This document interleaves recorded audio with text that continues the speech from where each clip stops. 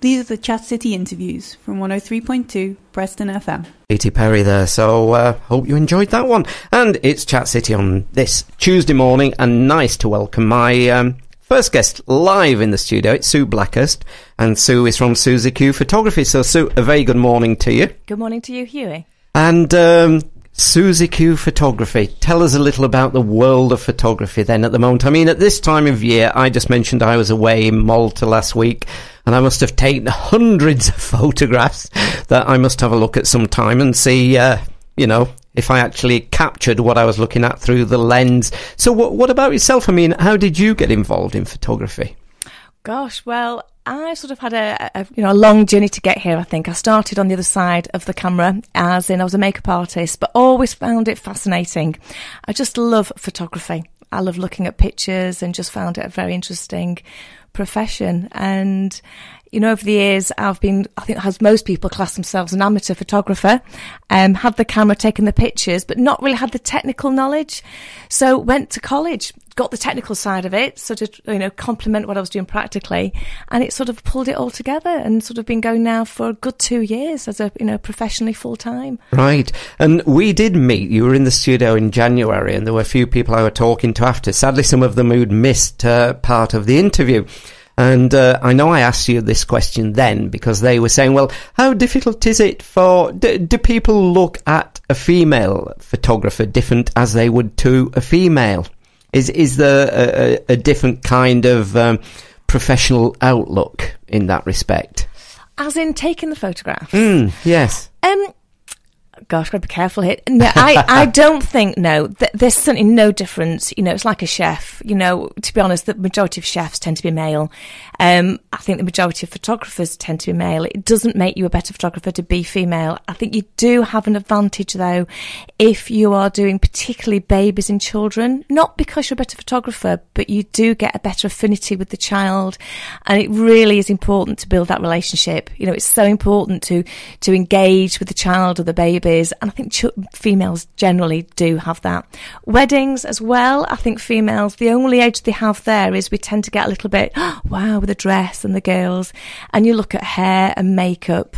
Um, whereas the guys may look pure at the composition, whereas we tend to look maybe a little bit deeper. It's not right. that it's better photography, but maybe you just look for things. Not always. I know. I, it's an I, advantage. I do like a statement on your website that I was looking at. I don't capture what people look like. I capture who they are. I want you to say it's just them.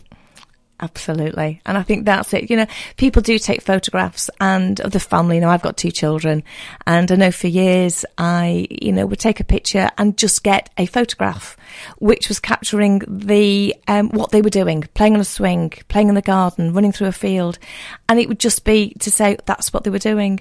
I try and take it that step further and it's mm-hmm. waiting for that moment when they turn around and they look at you without being aware that you've actually taken a photograph, but it really is them. It's a look in the eye. It's just, it's just something they have about the face. And, you know, I can take two, three hundred images in one shoot quite easily. And then I will probably knock down 50% very easily before I do the viewing and then go down again to maybe have the final 50, let's say, for the family to go through as a maximum number. And you do, you do find the parents look and go, oh, look at that. It's just them. And it's not mm. necessarily because it shows being pretty or whatever, it just captures who that child is. And I know these days we all talk about social media and everybody uses social media, but there's something very special about getting that photograph album out and looking at photographs of people in, you know, days gone by, maybe people who are no longer around. And there's some special quality, isn't there, about photographs that bring that memory alive. I mean, lots of people, uh, including myself, uh, I'm a big one for memories of music. Music will bring years alive to me or where I was when I first heard that song.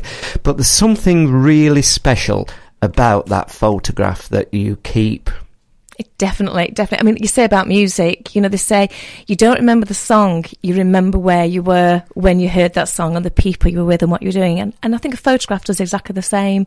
You look back at an album and it, it, evokes what you were doing, who was there, the memories. And it's so important. My children, you know, 10 and 11, and they're growing up fast.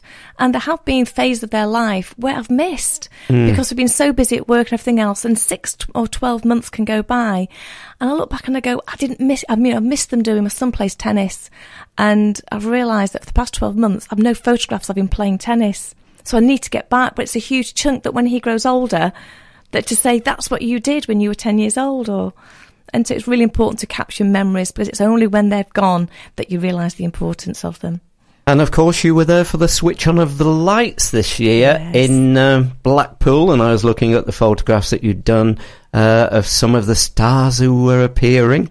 Um, yeah it was Yeah. a great night. It rained or you have to say it rained and we all got drenched and I did look very much like a drowned rat. But the atmosphere was fantastic. You know events I do love doing events. They are just you know it's fantastic because it's real it's live. You know I think you hear a lot of actors talking about you know television and they all say they like doing it on you know on stage like performance because you get that instant feedback.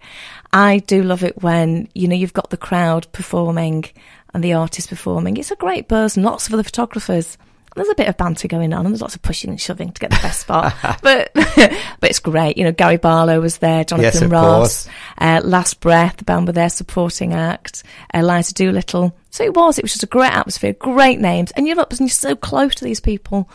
So, some real nice photographs of Gary Barlow that I was looking at. Yes, yes. And in my studio, I've got a huge, sort of about uh, six foot high image of Gary Barlow. you walk downstairs and uh, I can stroke his ankles. Yes. as I, as I, as I walk past him, as I walk underneath him. Yeah, it was it was great. You get great picture, and it's a great kudos as well to be able to say that you photographed Yes. people like that. You know, this year with us Tom Jones, so I'll be there. I was Tom going to ask about that. So, you're going to be there up Yes. at Lytham Green. Yes, well, I, I work for Radio Wave. I do all their photography for them, and they Right. they they um they host the night for Tom Jones.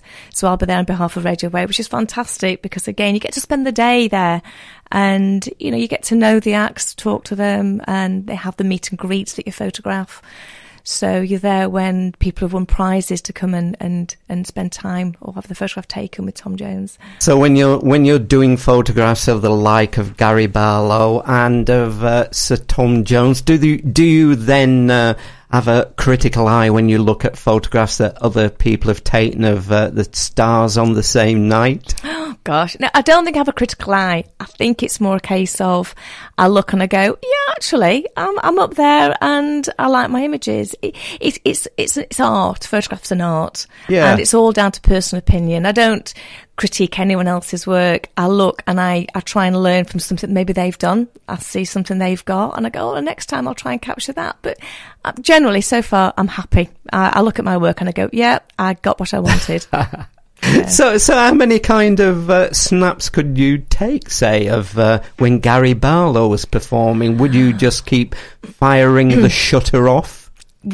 Often you can do. Um, you there's a rule for events that you can only actually photograph for the first three songs. So Yes. they may do six or seven at least, but you can only be there for the first uh, the first three. And you're at the front of the stage in the press pit, which is right in front of the stage, and obviously you've got the crowd behind you, so you're in their way as well. So it's a way to get you you off. You have to then clear the area, um, and at the start you go mad.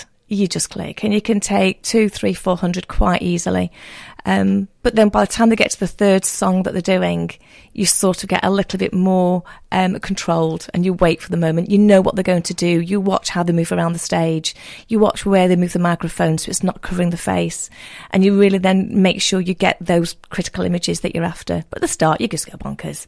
And you click away. So it was actually uh, you working in makeup that started you in photography. It wasn't something that you know somebody gave you a camera as a small child and off you went into the sunset. No, no. Looking back, I wish they had, but uh, no. I, I always my dream as a child was always to be a makeup artist. I wanted to work in television. Yeah. That's all I ever wanted to do. Yeah. Well, actually, no. I had a stay, stage. I wanted to be a vet, and then a vet told me what they had to do, and I changed my mind very quickly.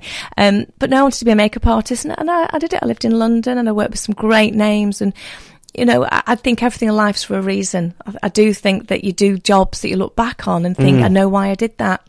And I worked with some great photographers and on some great shoots and travelled the world on uh, various jobs and for doing you know, swim swimwear companies and fashion shoots. Um, I worked with Bruce Oldfield and the Emanuels. So, you know, there were some great names out there that I, I worked alongside. But now, work on the other side, that was an advantage. Yes. Because what I see through the camera is what I used to do, so I know what I'm looking for. Right. And out of all the photographs that you've taken since you've been a professional photographer, do you have that one that is your favourite? Uh, I'm sure there are many, but is the one that has become, you know, you look at it and there's something special about that photograph? I think that you know I've got one of Gary Barlow that I do love, but that's because it's just iconic and it's Gary Barlow, not Right. because I just go it's an amazing photograph. it's the one that I look and it captures him singing, and I do like that one. Um, my daughter, I have to say, my daughter Poppy loves the camera. I'm very fortunate that she's quite photogenic and she loves the camera. Yes. So uh, she loves having a photograph taken. My son hates it. He tends to shy away a little bit, but my daughter does enjoy having a photograph taken. So the ones of her where I know, again, it's just her. I'll take an image and I'll look and I just go, that is just who she is. Um, and she's on the front of my, I've got a brochure on my business cards.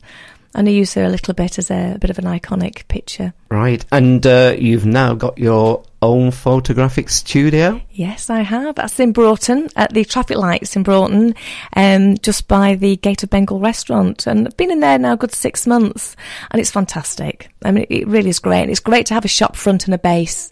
But I do all sorts of photography, and we're starting now to actually run sort of uh, photographic workshops in there as well.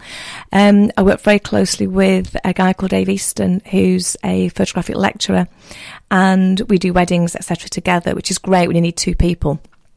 Um, but what we get a lot of inquiries about are people who get the SLR camera and they just keep it on sort of automatic the whole time. Yes. And they just have a camera. I know that's- the feeling. Yeah, it cameras worth hundreds of pounds Yes, and they don't the do anything feeling. with it. Yeah. You know, it's like having a Ferrari and never taken it out of first gear. you That's know, right. So what we do is sort of get them and show them how to use the camera.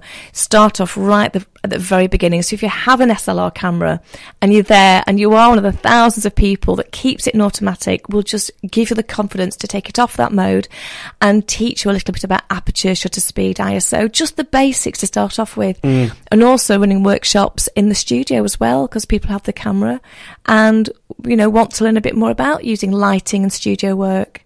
And so we're running workshops for that as well. And makeup lessons. I have a fantastic makeup artist called Brooke. Yes. And we're running makeup lessons, so it's really busy. It's just at the moment. There's so much going on. Really, you know, exciting times as well. And it really does make a difference, does it? Because, as you say, so many people do just keep it on auto and just click away. But by knowledge of the different apertures and how to use the camera, I take it it really does make a, a big difference to just shut pressing the shutter on auto. It, yeah, it, it does. You know, I'm not saying that on auto you can't take a great picture. You can, and the automatic has a purpose. And there are times, you know, every professional photographer will have a moment where they just go, whack it into auto and just get the picture because of, of time pressures. Not often, but there will be a time. But creativity, you can do so much when you take it off that setting, you know, particularly in things like low lighting. You know, it's nighttime, there's fireworks, um, or when you're doing maybe children playing sport. You know, I went to watch my son have a rugby match last week and I had to change the settings to capture the moment of them running Yes. and the ball moving to actually freeze frame it. So when you understand the settings, you can just do so much more. Right. And um, one of the things I, I was going to ask about is it, why, why do you think there are so few females who come into photography? I mean, it, it is a specialised art, isn't it? Because it definitely is an art, photography, isn't it?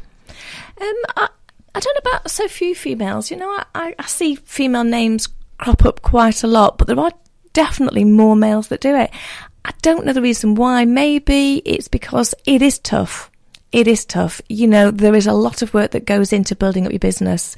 You know, you've got to be out and about all the time and, and pitching for work. It, you know, there is a lot of competition out there. And I'm not saying that females don't do that at all, but, um, you know, it takes confidence. It takes, you know, that ability to, to just go into places, pick up the phone and, and, and trying to get the work. Sometimes I say females don't do that.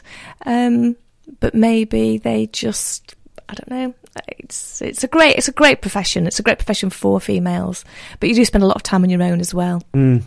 Well, Sue, uh, as I said, I was looking at uh, your Facebook this morning and uh, your homepage. So tell our listeners where they can find out more about you. Oh, great. Um, Facebook's a great way. I post up there quite regularly, and that is Susie Q Photography. That's actually under my name, though. I think you go to facebook.com forward slash Susie Q Blackhurst, and that's S U S I E. I've got a website, which is the W's susieqphotography.co.uk. Um, I'm on Twitter. I'm, I'm learning Twitter. I'm getting oh, a little well bit done. better. Yes, I am. I've just been twittering that you're in the studio. I know, I know. Um, on Twitter, and that's at Susie Q Photos. Um, or you can phone me. You know, that's a great way now. You know, um, 07970 617261. If you just want to chat, you've got your camera and you want a bit of advice, feel free. I'll do whatever I can to help. There you are. Well, uh, have you had the opportunity yet to, to photograph Will Young at all? No, I've not. Uh, I think uh, Olly Murs, I said last time I was in, wasn't Yes, it? Yeah, yes. no, no. So if, if if they come in for a chat with you, Hughie, I do expect to We'll, get a call. we'll pass them your way. You can, come in, you can come in and take some photographs. 'cause I'll leave that one with I'm, you. go- I'm going to play Will Young now. So, Sue, can I thank you for coming in this morning? You're very welcome. Thank, Thank you for you. having me. If you've got news, views, or events you'd like to share with us and the Chat City team, why not give us an email? chatcity at preston.fm.